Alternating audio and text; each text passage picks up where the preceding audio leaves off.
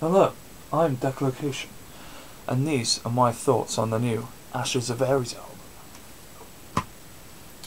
And this is Leo. Right, well, what can I say? Upon first listen, I absolutely loved it, and on second listen, I loved it even more. And in fact, on the first day, I've just had it on repeat on this old crappy CD player here, just over and over while I was playing, I don't know, Minecraft or something. The first song that they released was Dead Man's Plight, I think, on uh, YouTube. And um, when I first heard that, I wasn't really that phased by it, but I must say, I did really get into it. Um, I was like listening to it on YouTube, like an awful lot, and I got really pumped up for it.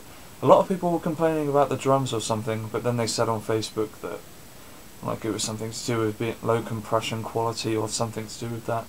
But I must say, uh, it sounds a lot better on the album.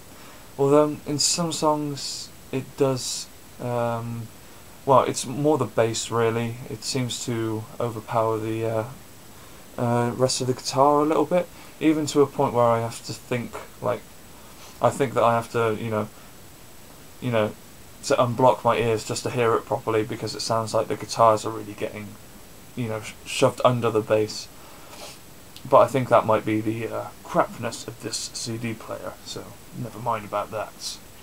The music itself, well, uh, the music itself, I think, is done perfectly.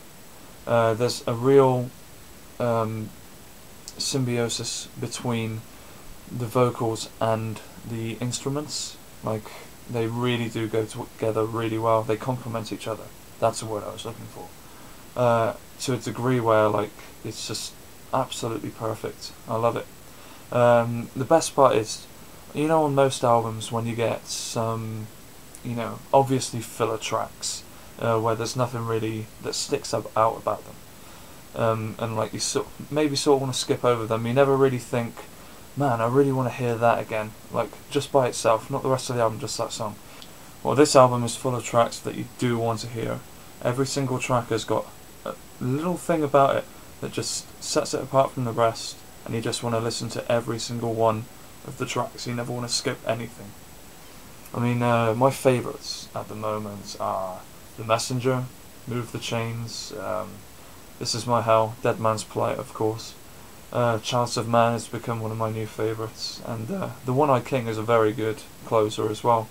I uh, usually just skip out on the uh, the, uh, the answer acoustic because I find that uh, it takes away from listening to the actual song, the answer itself, because you know you hear it twice while listening to the album, and you know it's quite close to each other as well. So, but yeah, that's just my own. That's just my own thing. Never mind. Remember, these are my thoughts on this album. So yeah, I think that the uh, guys have done a really good job with this. Uh, Matt Vaughn and Freddie have done a bloody brilliant job, in my opinion. I absolutely love it, and it pains me that I can't go to see them live at. Uh, well, I think the closest one to me was Bristol, but that's still about three hours away. So yeah, that's not really something I can do, which really sucks. But hopefully they'll be at Bloodstock and uh, Ashes of Ares. If you see this, go to Bloodstock next year. Uh, everyone will love it, trust me. So there you go, that's my thoughts on the new Ashes of Ares album. If you haven't bought it yet, then just buy it on whatever medium you uh, you choose. It's out on vinyl, CDs, uh, digital downloads. Uh, support the band, they deserve it.